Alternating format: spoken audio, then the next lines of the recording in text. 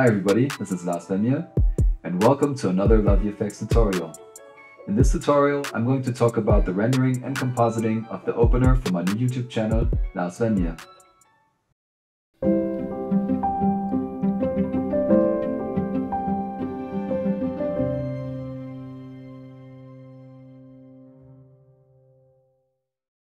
On my new YouTube channel, I will be releasing videos about anything I'm interested in, like software, hardware, services, or whatever I want to talk about.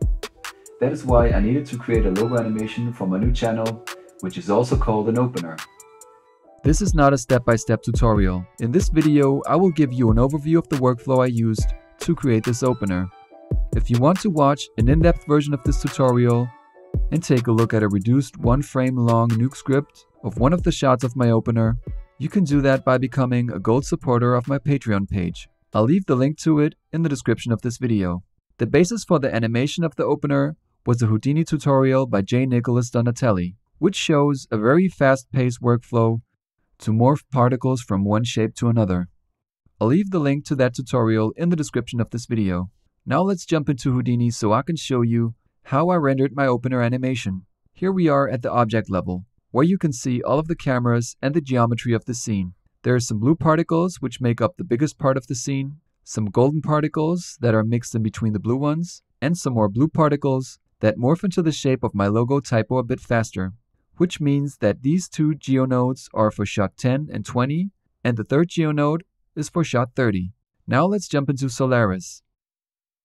I have to say that I really love to work with Houdini and Solaris, because you can work in a structured way that is very similar to the way you can work a nuke.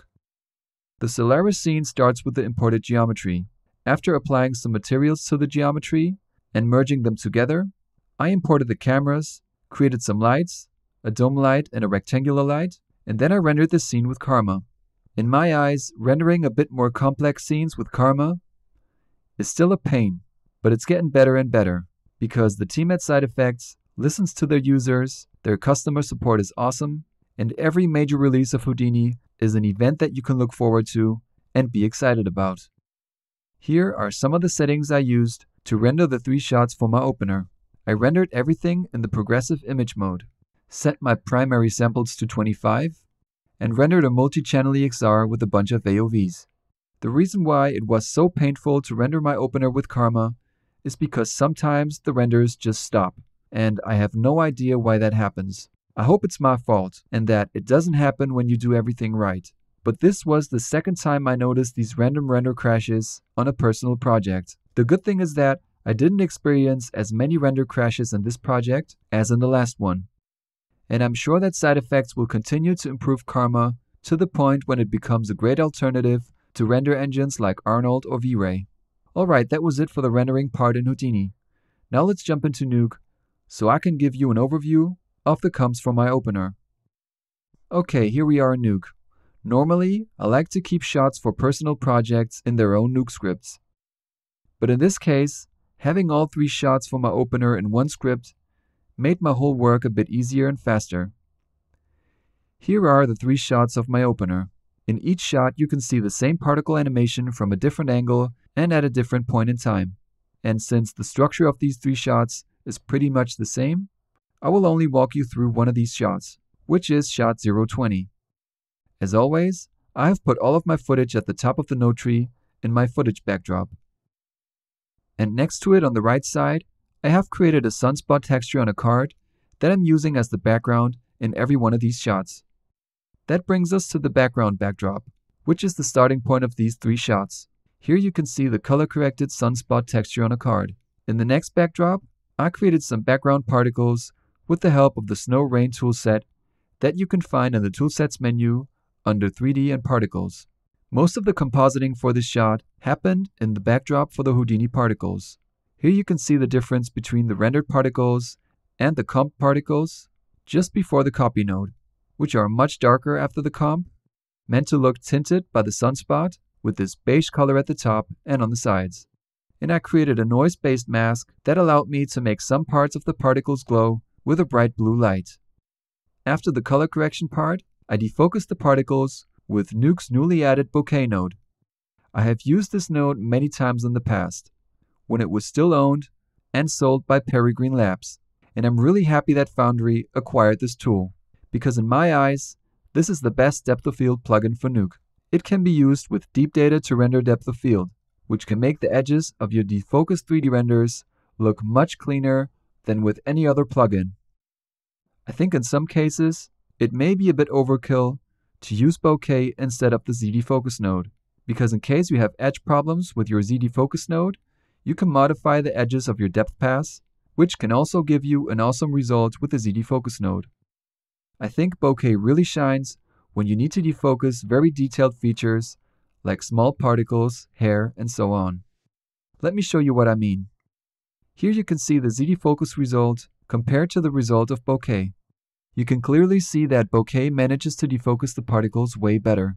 While the ZDefocus node makes the particles look like a blurred particle soup, the bokeh node manages to make the particles look like they were photographed. But such a result comes with the price of long render times which, again, can be overkill in some cases. Plus, you need to have a deep render of your CG to get this sort of quality out of bokeh. That costs a lot more time and energy. The problem with this project was that Karma was really buggy when it came to rendering deep data. It worked, but only when I rendered deep data without any compression. This one frame has the file size of 387 megabytes, and any attempt to render the deep data in a compressed format with Karma resulted in a file that Nuke could not read, and rendering these three shots as deep EXRs would have resulted in an image sequence of about 190 gigabytes. That was not an option for me. Instead, I came up with a workaround that allowed me to use Bokeh with custom made deep data without using Karma to render it.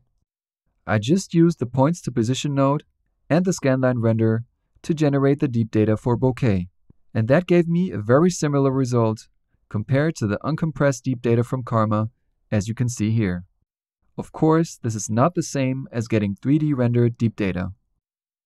And I don't recommend you to ever use this workflow in production, because it does not give you pixel perfect deep data, and it will give you some artifacts with bokeh. I could be wrong, but I believe that this workflow is only giving you front deep data with artifacts. But in my case, it worked like a charm and I think it looks way better than the results of the ZDefocus node. Okay, so after rendering the output of the bokeh node, I added some motion blur, an exponential glow, and a light wrap to the particles from Houdini, right before merging them over the background. Then I added some foreground particles, a lens flare, defocused lens schmutz, and some lens effects to the comp. I wanted to mention that motion blurring an image sequence that has depth of field applied to it is not a workflow that I would recommend because you should not motion blur bokeh. I think the better way would be to render your motion blur in 3D and apply your depth of field effect and comp afterwards, but that is just my opinion. Alright, that was it for this LoveVFX tutorial. I really hope you liked it. If you want to see some more of these videos, don't forget to subscribe. And if you have any questions about my work, feel free to post them in the comments. If you want to watch an in-depth version of this tutorial and take a look at a reduced one frame long nuke script of one of the shots of my opener, you can get access to it by becoming a gold supporter of my Patreon page. I'll leave the link to it in the description of this video. Thank you to all of my Patreon supporters. Your support is much appreciated. Again, this is Lars Wemmje. Thanks for watching, and goodbye everybody.